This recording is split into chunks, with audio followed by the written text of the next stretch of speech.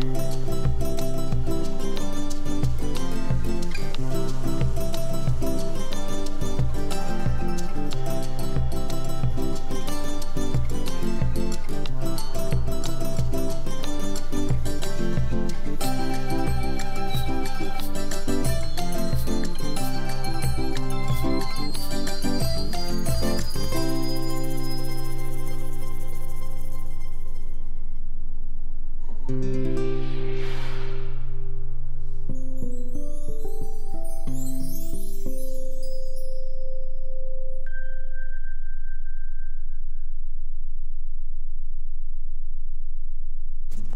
ver.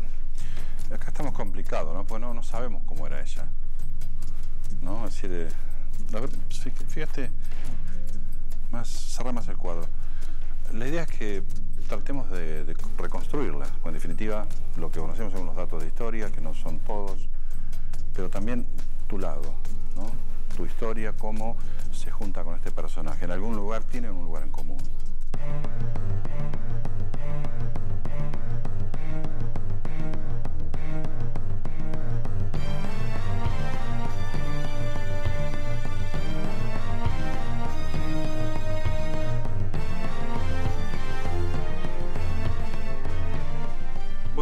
Historia de, de cuatro mujeres, son historias reales.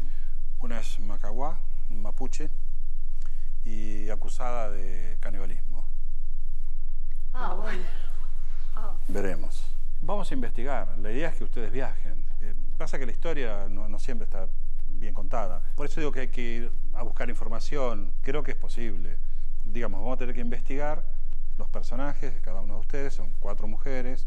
Y a partir de esa, de esa búsqueda vamos a tratar de, de armar la obra.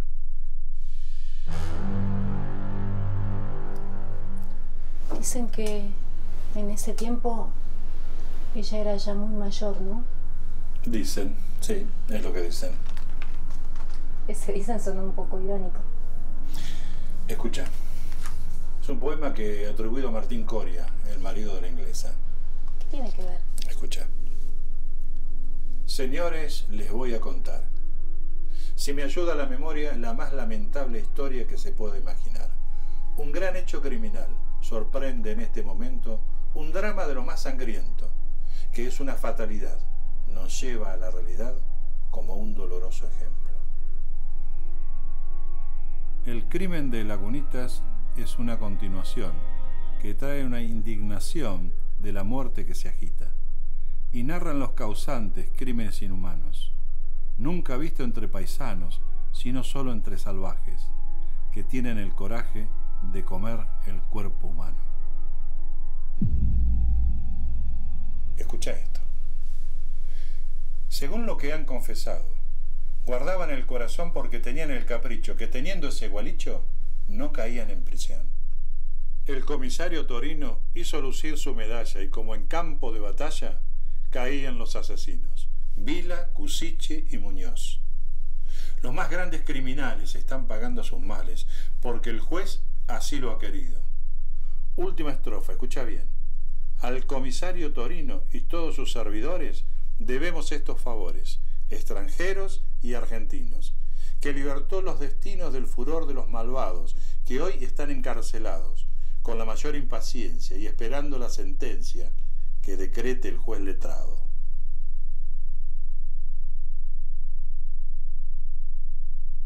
Tras la denuncia en la comisaría del CUI, el comisario a cargo José María Torino y a pedido del gobernador del territorio de Río Negro, Carlos Gallardo, y del jefe de policía Domingo Palaciano, se inicia una prolija y severa batida en la zona de Lagunitas.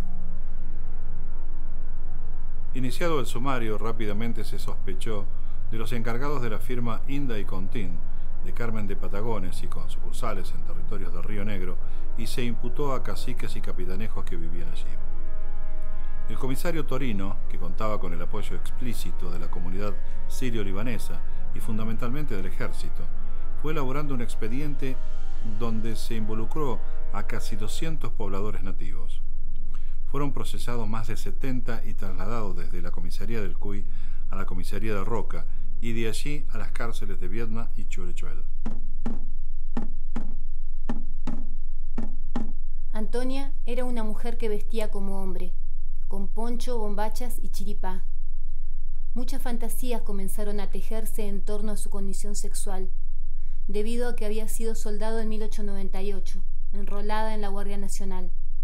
Pero Antonia era una machi, y como todas las personas que estaban en contacto con lo sagrado, gozaba de ambas naturalezas, la masculina y la femenina.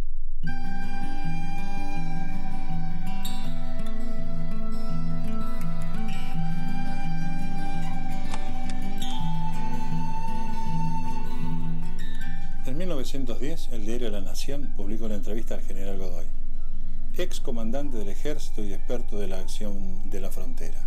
Godoy afirma al diario que está convencido de que se ha exagerado bastante el suceso y menciona un diálogo que tuvo con uno de los detenidos, el indio Juan Cuyán, ex sargento del escuadrón de auxiliares de Chorechel. Según Godoy, Cuyán confesó los crímenes cometidos, cuyo móvil fue el robo Asesinaron a algunos turcos y efectivamente sus cadáveres fueron mutilados.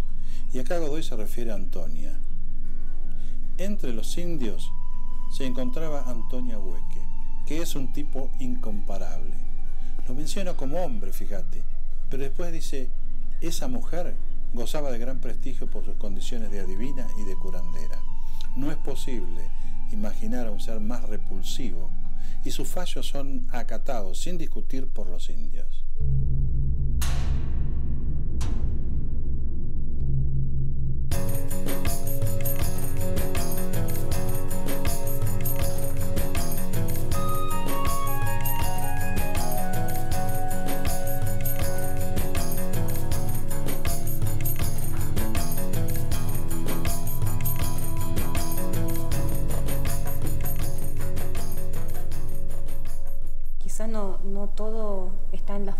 Sino también en, bueno, en como desilvanar esto para atrás y, reconstruirlo desde nuestra mirada. No quiere decir que sea la verdadera. No es ni la verdadera ni la única, pero es la, nuestra. ahí, Y por ahí es interesante lo que decís en el sentido de desandar lo que se contó. ¿no? Es decir, desandar la historia que nos contaron y en ese desandar podemos encontrar los pedazos que le faltan, esos pedazos de verdad que le faltan a la historia. Me parece que es una cosa, yo estoy como apasionado por todo esto, ¿no? No sé cuál va a ser el resultado, confiemos en nuestra capacidad de crear, de hacer, y bueno, juguemos, ¿no? Yo creo que la idea es invitar a meternos de cabeza en esto. Los apodos, ahí hay historia, ¿por qué no busquemos en eso? ¿No? La Pasto Verde, la Emperatriz de San Julián, la iglesia bandolera, Macaguá. La verdad que, no sé, es como me resultó contradictorio porque me puse a buscar cómo esta palabra nunca la había escuchado y, no es de acá, o sea, pienso que, se la pusieron desde, o sea, gente que venía desde otro lugar, porque no, no hay un pájaro acá que se llame Macaguá, es el nombre de un pájaro del norte. Y eso me resultó como contradictorio, o sea, como una mirada de afuera de alguien de acá. Y también pienso que pues, sería por su cuestión de, curanderismo, mm. de machi, que bueno, el curanderismo en la cosmovisión mapuche tiene que ver con, con poder volar o, trasladarse, esto de percibir y poder estar, eh, ver las cosas desde otro lugar. Y, no juzgarlas, ¿no? sí, eso me parece que es algo fundamental. No juzguemos eh, y tratemos de buscar más datos en la historia, los datos que se puedan encontrar, porque van a ir a cada uno de esos lugares donde estas mujeres vivieron. Y eso es lo interesante.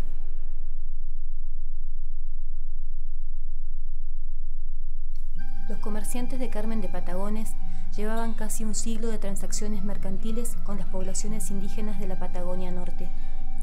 En la sucursal del paraje Lagunitas, los indios vendían plumas, pieles y lanas y compraban alimentos y ropa. Pero las cosas cambiaron hacia la primera década del siglo XX. Con la llegada del ferrocarril, una población de criollos e inmigrantes comenzó a ocupar las tierras que en otra época habían pertenecido al indio. En el departamento de General Roca, el mayor grupo de europeos eran españoles, seguidos por los italianos, a los que se sumaba una diversidad de pequeños contingentes de franceses, ingleses, alemanes, austríacos, rusos y originarios de los países de Oriente Medio, los mal llamados turcos, en su mayoría de origen sirio-libanés.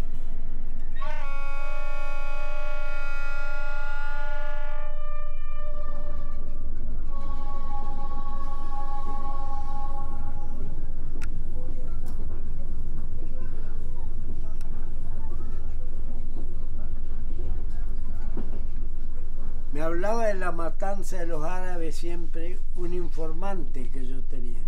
Se llamaba Juan Amado Chuque.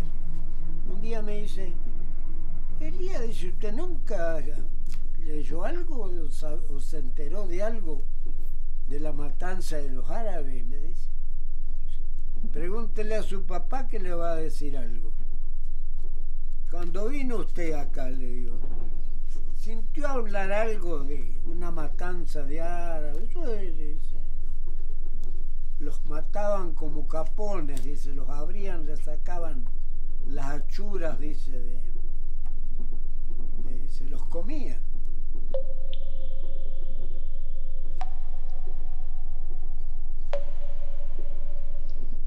Y efectivamente era esta mujer que le sacaba los órganos a los que mataba.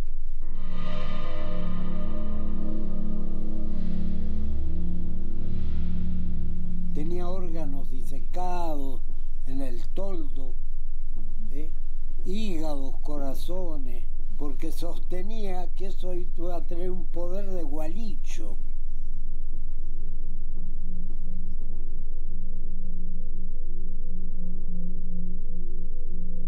En 1909, el periódico La Nueva Era de Carmen de Patagones denunciaba, son innumerables los vendedores ambulantes que andan por este distrito comerciando sin patente. Estos perjudican al comercio muy seriamente, puesto que no solo venden mercaderías, sino que también acopian frutos del país en forma irregular, siendo el principal vehículo del cuatrerismo. Estos comerciantes turcos en su mayoría compran cueros y lanas robados, pluma y cerda de dudosa procedencia y luego obtienen guías otorgadas por jueces de paz sobrado complacientes, de tal manera que las víctimas somos los comerciantes y hacendados.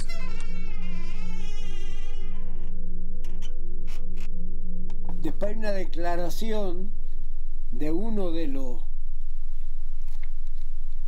de uno de los malhechores esta de esta historia le preguntan algo de Macao y dice, esa sí que era valiente. Cuando se ponía rabiosa, sacaba el cuchillo y se pegaba un tajo en el brazo. Después se chupaba la sangre. Dice que se curaban los ataques de rabia. No serían golpes de presión, así que tendría susto. Eh, yo leí que en ese tiempo la gente se hacía mm, eh, como sangría claro. para curarse enfermedades. Sí, eso es, histórico, eso está... Algunos usaban sanguijuelas, pero otros se cortaban y se drenaban Un, rato. Eh, le quería preguntar eh, otra cuestión. ¿En algún momento, mientras estaba investigando la historia, tuvo alguna duda de que las cosas hayan sido como usted las relató? No. No tuvo duda. No, no. No hay pruebas, pero fehaciente. El que descubre esto es un chico de 16 años que se pelea con el padre.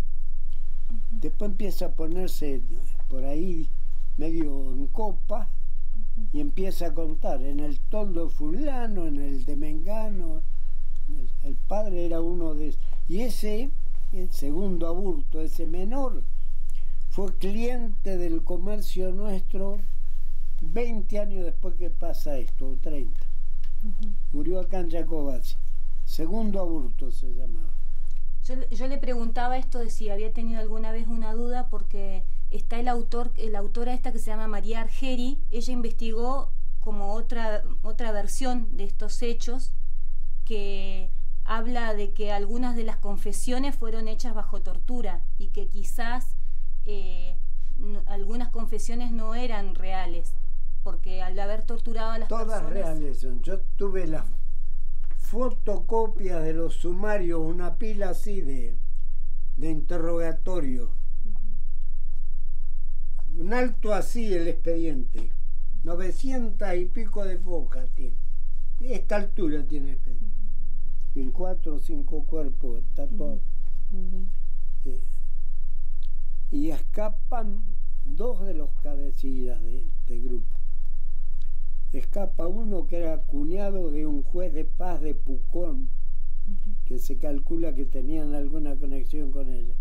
Porque en esos nueve años, que duró seis, siete años, del 4 al 9, desaparecen 50.000 ovejas en el departamento del Cuy.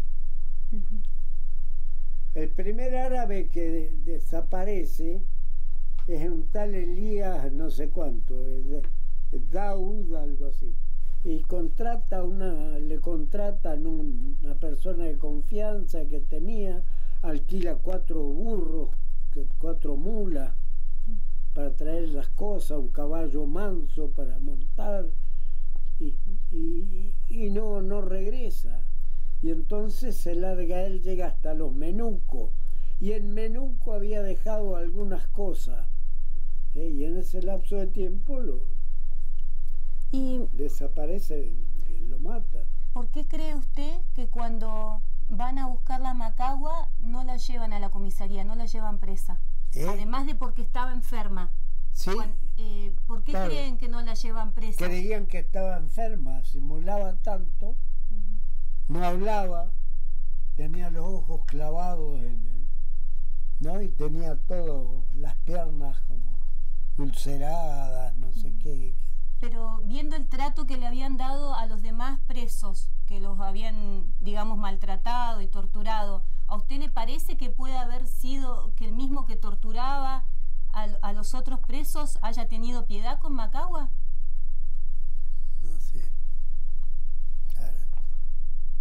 y al día siguiente cuando la ven, cuando la ven que ella está eh, buscando un caballo para irse, ahí no está ella, digamos, enferma y tampoco la presan.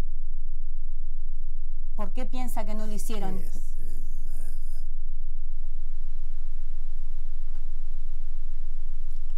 claro, sí, sí, hay casos muy... Sí, bien pudieron detenerla ahí. Era un solo tipo el que la vio. A lo mejor la impotencia de detenerla y llevarla y de cómo la detiene y la lleva.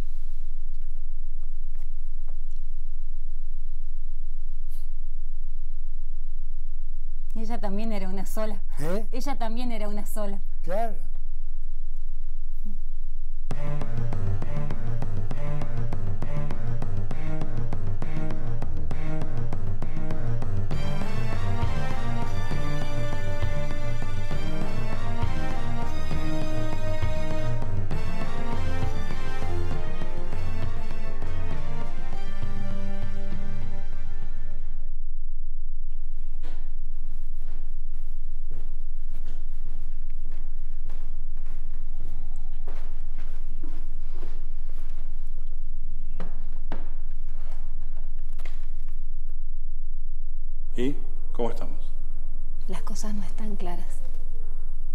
Historia de la Patagonia. Acá nunca nada queda claro. Sí, pero fíjate que la historia de Macagua es de algún modo seguir con estigmatización del indio. En parte. Con crímenes confesados bajo tortura. Ahí es donde tenemos que opinar nosotros. Contar lo que el expediente no dice. Por ejemplo.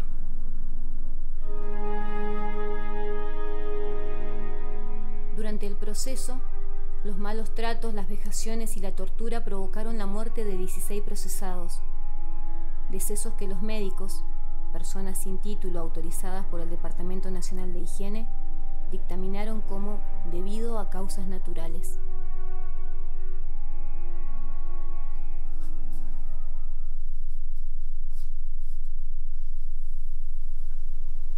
¿Te tomaste en serio lo de la investigación? Antonia vivía en Lagunitas, el mismo lugar donde vivía Pedro Vila, uno de los principales acusados. Según el expediente, en 1910 Vila tenía mil vacunos, 12.000 lanares y 5.000 yeguarizos. ¿Qué habrá pasado con ese capital? comerciaban con Chile, como hacía cientos de años. ¿Y este quién es? Es Pablo Brebañez o Pablo Real, juez de Toltem, cuñado de Juan Cuyá. ¿Y este por qué estaba en la causa? Y compraba y vendía. Y si el móvil de los asesinatos tenía que ver con el robo a los árabes, a alguien tenían que venderle, ¿no? Y este era medio pariente, todo según la historia oficial. También tenía otros parientes, Domingo Prioli y el gallego Echeverría, que atendía el almacén, adivina de quién, de la firma Indacontín, los primeros acusados en la causa y los que se veían perjudicados por el comercio de los árabes. Te hago de abogado del diablo. No digo que los 70 detenidos, pero algunos de ellos mataron a los turcos. Árabes. Árabes, perdón. Los mataron, les robaron la mercadería y se la vendían a su pariente, el juez de paz. O a la firma Indacontín.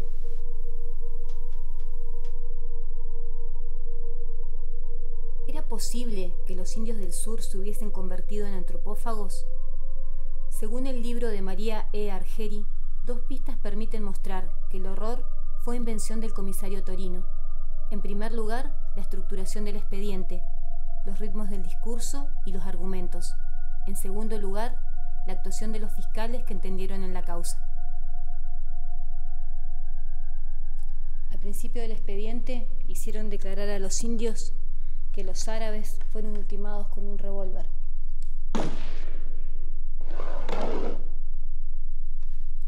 Pocas páginas después dijeron que fue con un cuchillo. Aparece una tercera arma, un rebenque. Y finalmente dicen que fue con una boleadora.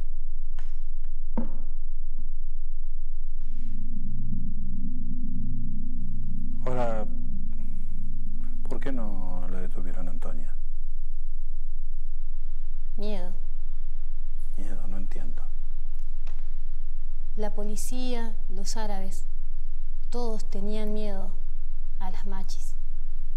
Mira lo que dice el expediente.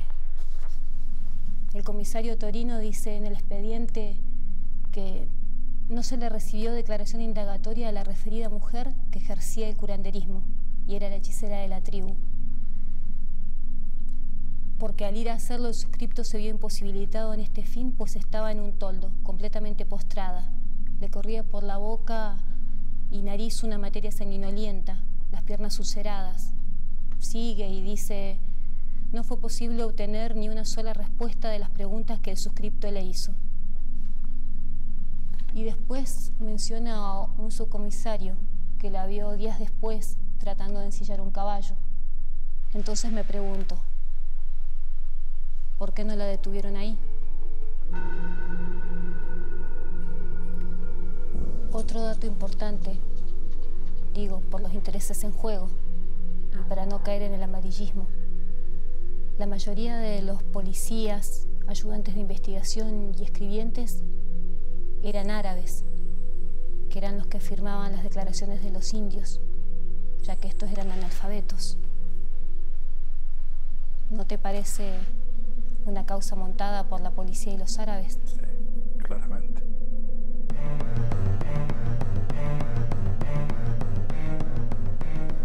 Soy Antonia Hueche, el Macahuá.